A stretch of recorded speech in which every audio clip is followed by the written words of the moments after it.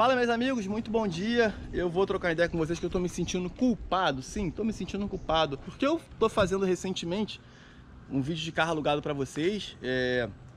Não tô falando de carro elétrico não, tá gente? Tô falando de carro alugado, independente se é elétrico ou não. Só que eu falei num vídeo que para você alugar o carro nessa devida locadora, você precisa ter o um nome limpo. E aí o colega fez a, a, seguinte pergunta, pô, mas você acha que é todo mundo que tem condições de ter um nome limpo? É tentando, é, é a dificuldade, né? Botando dificuldade em tudo tá? É isso que eu quero falar com vocês, essa dificuldade que todo mundo bota em tudo. Às vezes você, outras pessoas falam assim, ah, mas você acha que é todo mundo que tem condições de ter um GNV? Gente, ninguém tem condições de nada, você tem que ir lá parcelar um GNV. Eu, na pandemia, já tive, ó, só para começar, eu já tive do outro lado da história, fiquei cinco anos até limpar meu nome, não tenho vergonha nenhuma de, de dizer isso, porque eu já tive do outro lado, ia entrar de novo na pandemia, quando o meu carro financiado, a Spin era taxista, vocês sabem da história do começo do canal, e não ia conseguir pagar o carro por causa da pandemia. Saí quatro dias e não conseguia fazer o GNV do táxi. Meu irmão, o que, que eu fiz? Mudei. Eu simplesmente fui lá e falei assim, irmão, não tá dando, vou ter que mudar. Fui lá, peguei o March, como vocês sabem, botei o GNV no cartão que eu não ia conseguir pagar e tinha uma Spin zero 2019 na garagem. Em momento nenhum vim aqui falar pra vocês assim, ah, meu Deus do céu, eu tenho uma espinha ali, tô trabalhando com marcha sem mala porque eu botei GMV. Não, eu dei meu jeito. Eu simplesmente botava as malas com muitos, não, dezenas de vídeos. Vocês viam mala aqui no banco da frente, eu filmando pra vocês, várias. Eu dei meu jeito. Então às vezes eu tô vendo pessoas é, botando desculpa em tudo, cara. Cara, não adianta, irmão. Você aqui vai ter duas opções ou três no aplicativo. E eu tive no táxi também, ou eu ficava no táxi, minhas contas iam todas atrasadas, né? Consegui pagar carro, eu virava motorista de aplicativo. Não tinha o que fazer. E você acha, rapidinho, só voltando aqui no táxi, você acha que tem alguém que tem mais raiva dos aplicativos do que um taxista? Eu fiz minha vida no táxi, construí muita coisa minha no táxi. Você acha que tem alguém que tem mais raiva do, do, aplicativo do que um taxista? Não tem. Então, às vezes, quando você que é motorista de aplicativo tem raiva do aplicativo, eu entendo que a tarifa tá uma bosta, que a gasolina tá caro. É muito bom chegar aqui para vocês e falar assim, ó, vai mudar tudo, o aplicativo vai dar 50% de aumento, não é nem ter outros empregos, todo mundo ia ser motorista de aplicativo. Então, você vai ter três opções aqui. Uma, reclamar, que não vai mudar seu caso, não vai pagar suas contas, aprender a trabalhar, que eu acho que é uma das melhores opções hoje, ou sair, terceira, sair do aplicativo e fazer outra coisa, cara. Então começa a mexer seus pauzinhos, tenta aprender a trabalhar ou sai do aplicativo. Porque eu não vou vir aqui... Eu, eu, gente, vocês têm que entender, eu já falei em alguns vídeos pra vocês, pra eu chegar aqui e fazer vídeo só reclamando, preste atenção, ficar falando que, ah, mas o, a tarifa tá isso, e tá ruim, tá, e tá a tarifa tá aquilo, eu vou ficar sentadinho na minha casa, ganhando dinheiro do YouTube, quietinho, dando notícia para vocês das coisas ruins, que tudo é ruim, não tem nada bom, eu vou ficar dando notícia e vou ter visualização e vou estar tá ganhando meu dinheiro. E o que, que eu tô gerando na vida de vocês? Nada. Agora, o difícil é sentar o rabo num carro, com gasolina na cara, com tarifa baixa, fazer dinheiro e trazer esse resultado para vocês. Poucos fazem, parabéns aos que fazem.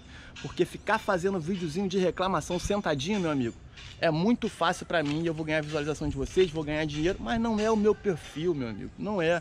Não tô aqui para isso. Então, doa quem doer, eu tô falando aqui a real. Se você tá pensando que isso aqui vai ser fácil, que você vai ganhar dinheiro fácil, às vezes até vejo os colegas que é, fazem mentoria, é, que, que não os que fazem, né? Mas os que pagam mentoria, não tem nada contra quem faz. Eu, eu mesmo comprei um curso recentemente de editar pelo celular. Eu tô vendo esses colegas que vão fazer mentoria achando que eles vão chegar lá e da noite pro dia vai ter facilidade de ganhar dinheiro. Meu amigo, a mentoria dos colegas vão te ajudar. Mas se você não sentar o rabo aqui e trabalhar pra caralho, você não vai ganhar dinheiro não. Não tem mentoria do além que vai fazer você ganhar dinheiro. Isso aqui eu falo com experiência no que eu faço, no que eu rodo aqui todo dia. E se você, vou mais além, se você puxar o canal aí, os primeiros vídeos, vai lá e vê quantas horas eu trabalhava. E vê hoje quantas horas eu trabalhava, vê se mudou alguma coisa. O máximo, eu te, te afirmo aqui o que mudou. Antes eu trabalhava seis dias na semana, hoje eu trabalho quatro, três, isso mudou. Porque eu preciso dar atenção no canal e eu não consigo mais trabalhar seis dias, senão o canal eu não consigo, porque dá um trabalho da porra.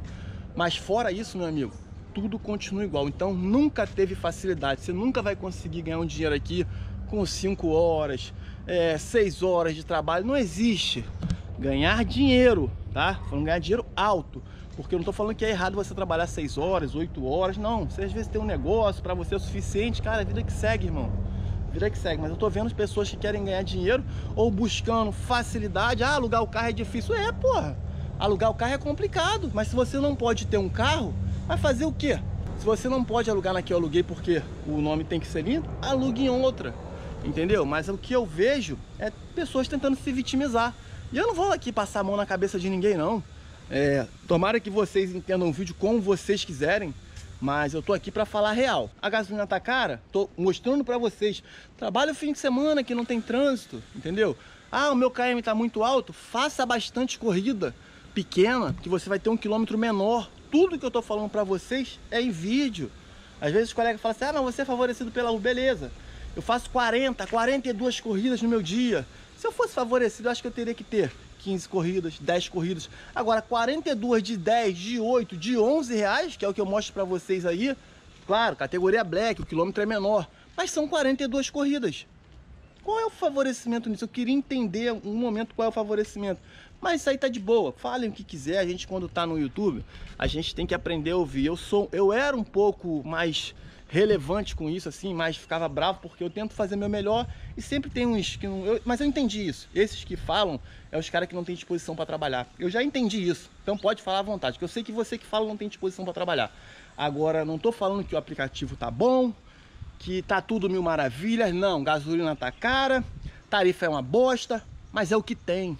Ou você trabalha, aprende a trabalhar como está, ou sai do aplicativo, gente. É simples assim. Então, o que eu tô tentando passar para vocês aqui é o seguinte: tem gente que tá hoje trocando de carro, tem gente que tá conseguindo novos objetivos, simplesmente trabalhando. Por que, que esses colegas conseguem e você não? Alguma coisa tá errada. Ou é com eles ou é com você. Aí é você que vai decidir, meu amigo, entendeu? Porque ficar reclamando, se você já sabe de todas as dificuldades do aplicativo, não vai pagar suas contas, não vai mudar a sua vida, ou você vai trabalhar, aprender a trabalhar, ou você vai sair do aplicativo. É as duas melhores opções, gente. Eu preferi sair do táxi em vez de ficar reclamando no táxi. Simplesmente saí, passei tudo para frente. Faço mesmo. Eu acho que você vai ser muito mais bem sucedido do que você ficar reclamando 24 horas. Eu falo por mim, porque eu passei por isso no táxi e quase acabou meu casamento. De tanto eu ficar reclamando do táxi, reclamando que não tinha corrida, reclamando disso, reclamando daquilo. Minha esposa chegou a um ponto de eu quase perder meu casamento por causa de reclamar. Entenda esse vídeo como vocês quiserem, mas eu tô passando aqui uma realidade que eu vivo. É simples assim, não tem outra maneira. Ou você vai sentar o rabo, trabalhar pra caramba, ou você vai sair do aplicativo porque reclamar não vai pagar suas contas. Tá bom? Grande abraço, boa sorte, boas corridas, tamo junto. Valeu!